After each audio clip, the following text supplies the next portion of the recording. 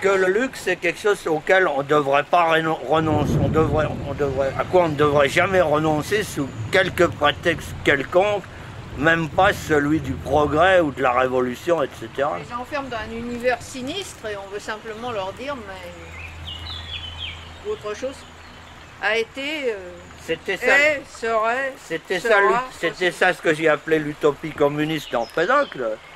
Là, le dernier tiers, au début du dernier tiers, c'était ça. C'était un gars qui disait, et surtout, n'oubliez pas ça et ça, et, et- et si s'il n'y a pas ça et ça en plus, eh ben ça ne donnera rien.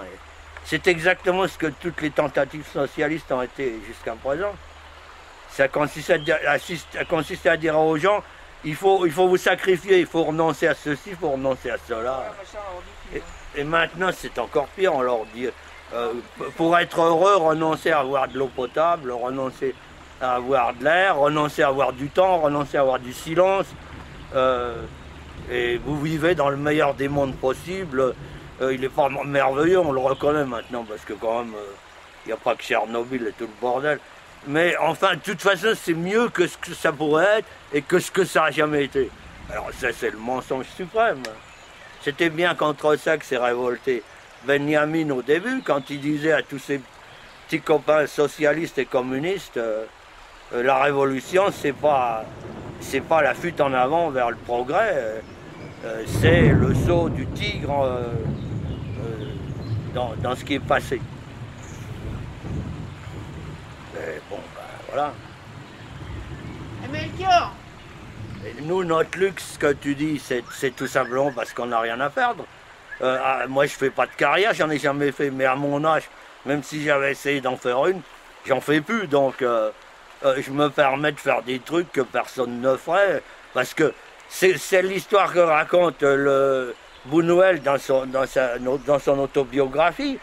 Le jour que son fils l'a forcé au bout d'un certain temps à manger un soir avec Nicolas Ray, et que, que Bounouel dit la chose la plus horrible que j'ai entendue sur notre travail, c'est ce que m'a raconté Nicolas Ray au bout de je sais pas combien de demi-heure de, de, dîner ensemble. Il lui a dit, vous savez, chez nous, quand on a fait un film qui coûte tant de millions, il faut que le film suivant coûte euh, en- encore euh, 3 millions de plus, euh, ou en tout cas pas moins, et il vaut mieux qu'il coûte euh, euh, euh, deux fois les millions qu'a coûté le précédent, parce que euh, la carrière, c'est ça. c'est.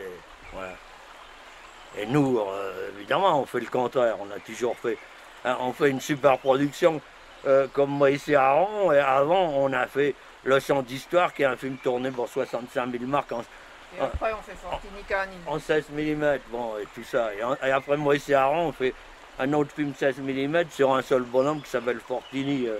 Alors ça, c'est pas. Ça, c'était un luxe, en effet.